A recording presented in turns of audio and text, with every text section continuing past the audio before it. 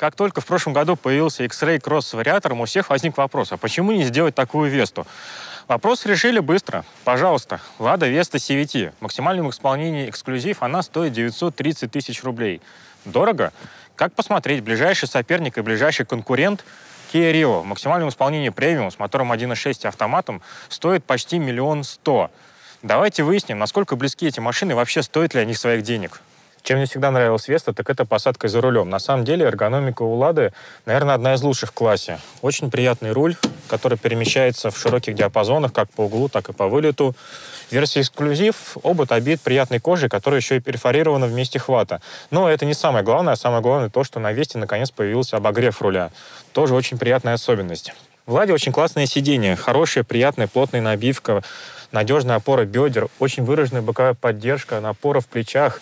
Кроме того, помимо стандартного набора регулировок, есть еще и регулировка поясничного подпора, чем, наверное, ни один одноклассник похвастаться не может. И кто бы что ни говорил, в Весте сиденье одно из лучших в классе, если не лучшее. Пространство передней части салона организовано тоже очень неплохо. Глубокие карманы, гигантский, просто гигантский бардачок. Есть центральный бокс, подстаканники. Раньше они были очень неглубокие, я тоже постоянно по этому поводу ругался, но с появлением версии эксклюзив, с очередной модернизацией Весты, их глубина увеличилась. Ура!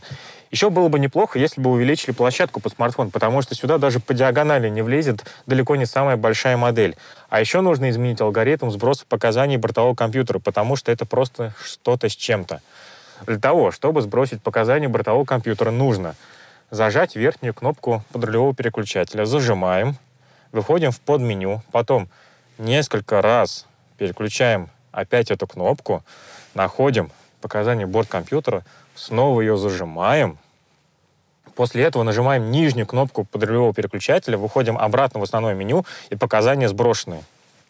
Это вообще кто придумал? Почему нельзя обнулить показания, просто зажав верхнюю кнопку? Кому нужна эта сложная схема? Но будем надеяться, что со временем и это тоже поменяют. Сама комбинация приборов с радиальной оцифровкой, в принципе, удобна, и каких-то больших претензий у меня к ней нету. Если бы не борт-компьютер. Ну, главный виновник торжества у нас — это селектор вариатора. Когда его проектировали, явно кто-то психанул, потому что высота у него просто какая-то запредельная. Такого даже механической коробки нету. Смотрите, у меня сейчас нога на педали, и получается, что селектор находится даже выше. Но пользоваться удобно, тянуться не надо. А это самое главное.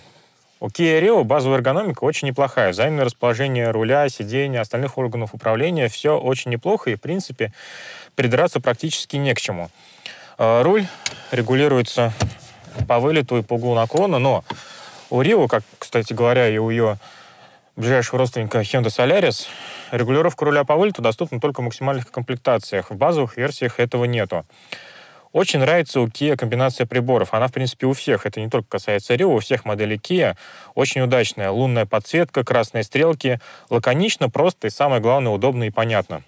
Бублик руля тоже очень неплохо, удобен в хвате. Пожалуй, единственная придирка — это то, что кожа, которым обит руль, она скользкая. Хотелось бы чуть более цепкий материал, но это так, из-за разряда придирок. Вообще, пространство организовано очень неплохо, особенно на фоне Весты.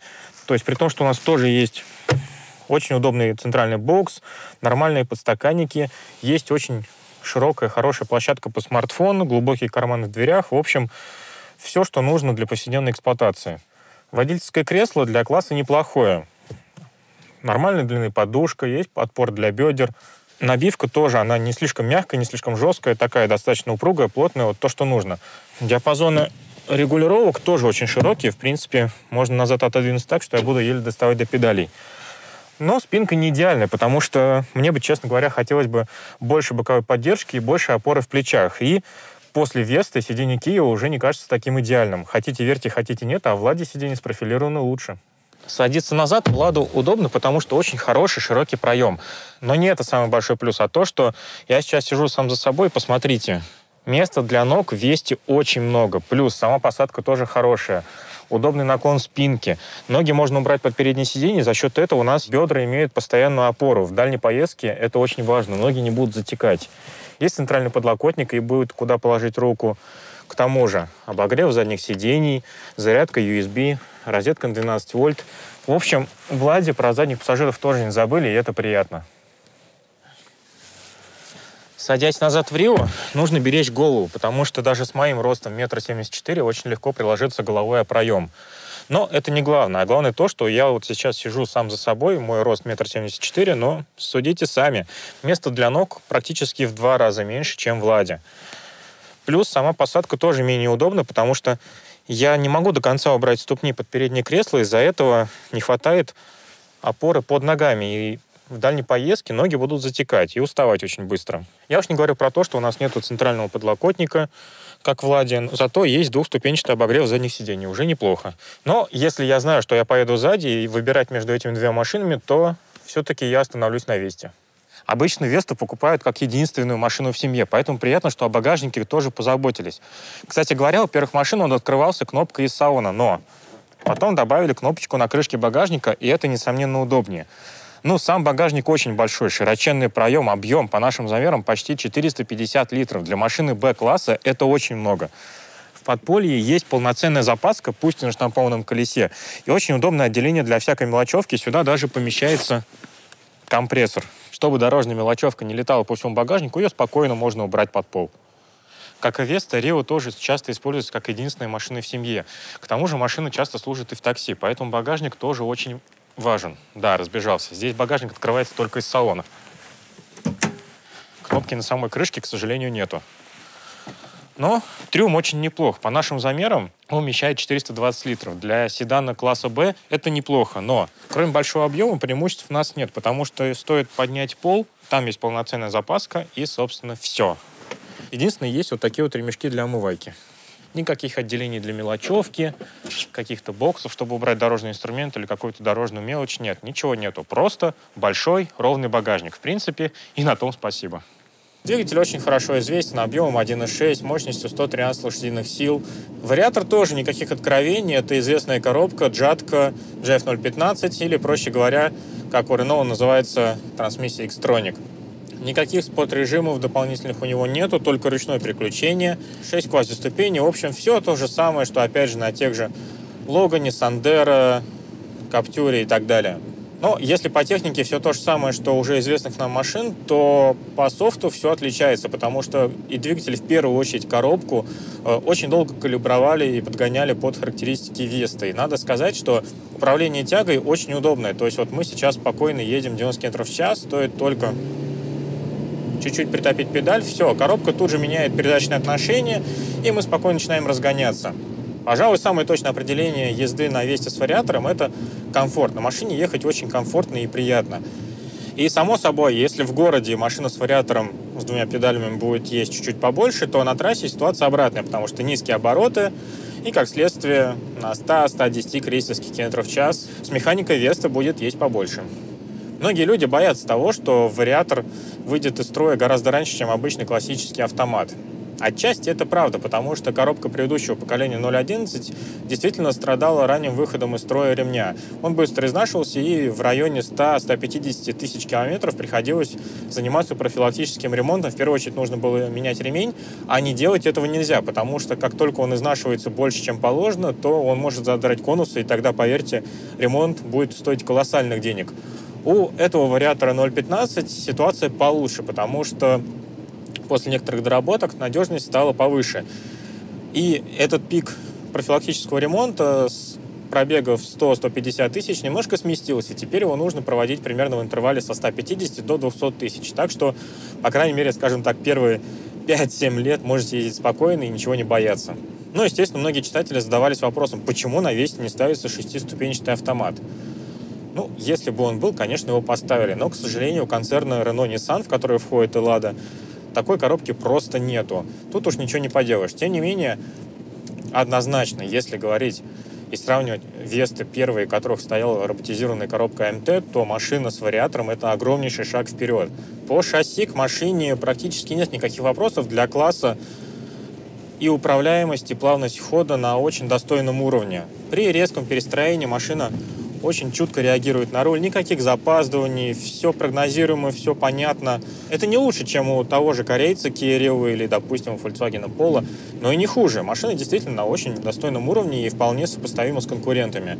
Если же мы говорим о плавности хода, то тут Лада и вовсе лучше. У него нет такой сумасшедшей энергоемкости и мягкости, которая есть у Логана или Сандера, которые просто глотают все и вся. Тем не менее, весь спектр наших неровностей машина проглатывает без каких-либо последствий для ходовой. Это то, что нужно для нашего рынка.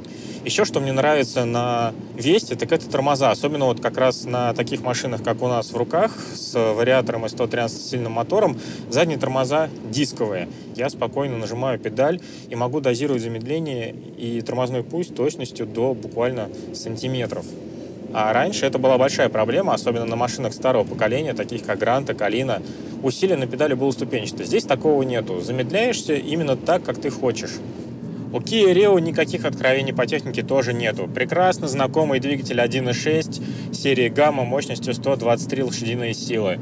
Автомат шестиступенчатый, и эта связка зарекомендовала себя очень хорошо, в том числе и по надежности, потому что таких машин Kia Rio, Hyundai Solaris в такси бегает огромное количество, и у них пробеги уже очень большие, и никаких проблем нет. Так что с точки зрения надежности беспокоиться, в принципе, незачем.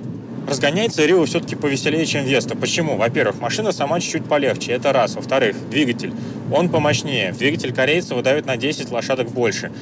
Это тоже существенная разница. Но в целом, когда мы спокойно едем в городе, когда мы едем по трассе, и нам не нужно резко ускоряться, то управление тягой очень похоже на то, как это происходит в Вестой. Такие же легкие запаздывания, те же самые 6 передач в ручном режиме, все очень похоже.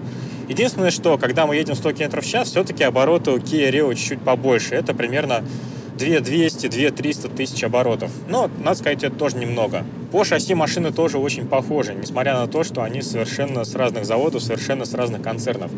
Настройки близки. В первую очередь это касается управляемости, потому что Rio также остро отзывается на руль. Никаких запаздываний, никаких резких скольжений, сносов оси или заносов задней оси, когда мы сбрасываем газ. Все очень прогнозируемо и понятно, то, что нужно для массового автомобиля класса B+. Но на разбитой дороге Рио все-таки едет чуть-чуть похуже.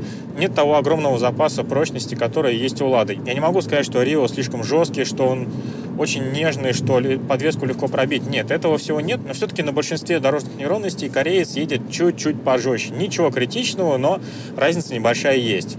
А вот если говорить о шумоизоляции, то тут разница не то, что небольшая, она огромная, потому что, как я уже говорил, в «Ладе» уровень шума очень невысокий. Это касается и шума двигателей, и аэродинамики, и в первую очередь дорожных шумов то в корейце, если двигатель и аэродинамика изолированы неплохо, то с дорожными шумами все плохо. Это беда не только Рио, это вообще общая корейская такая черта. До сих пор на уровне шумоизоляции колесных арок они экономят. Что есть, то есть. Мы сейчас едем 90 км в час, и шумовой фон от дороги очень высокий, потому что шины гудят. Любой камешек, который отлетает от колес, я прекрасно слышу, как он барабанит по колесным аркам. Очень обидно, когда вы платите за машину миллион, и вам гарантированно придется раскошелиться еще на дополнительную шумоизоляцию, потому что, ну, ездить так не есть хорошо, приходится очень часто повышать голос. Но в итоге всех интересует главный вопрос. Сколько это все стоит? Самая доступная Веста с вариатором обойдется в 750 тысяч. Kia Rio с мотором 1.6 и автоматом обойдется минимум в 900. То есть в любом случае у нас при схожем оснащении получается эта разница в 100-150 тысяч. А в принципе машины очень близки и равны. И тут уже вопрос личных предпочтений. К сожалению, для многих до сих пор, если есть ладья на фасаде, это означает, что это не домашина. Но это на самом деле та же история, что зачем мне покупать Volkswagen Tiguan, когда есть Toyota RAV4. Согласитесь, это уже предрассудки. если вам нужна относительно недорогая, хорошая, современная машина с автоматом, то Lada Vesta с вариатором – это очень неплохой вариант. Читайте в февральском выпуске журнала «За рулем». «Шевроле Авео» после 170 тысяч километров. Разбираем до винтика. «Лада Веста» после окончания гарантии. Какие проблемы? Рено Аркана и первые неполадки. Электронный договор купли-продажи. В чем польза и в чем вред? Шкода Рапид нового поколения. Все подробности. Видеорегистраторы за 1500 рублей. Выбираем лучший. Новый Volkswagen Golf, немецкая сборка и российский мотор. Kia Soul против Suzuki Jimny. У них цена-то одинаковая. Москвич 408 и 412. Так он был скопирован или нет? Кросс-купе Havail F7X против Mitsubishi Eclipse Cross и Renault Arcana. Антигель для дизеля. Ищем лучший и недорогой. Это и многое другое читайте в февральском выпуске журнала «За рулем».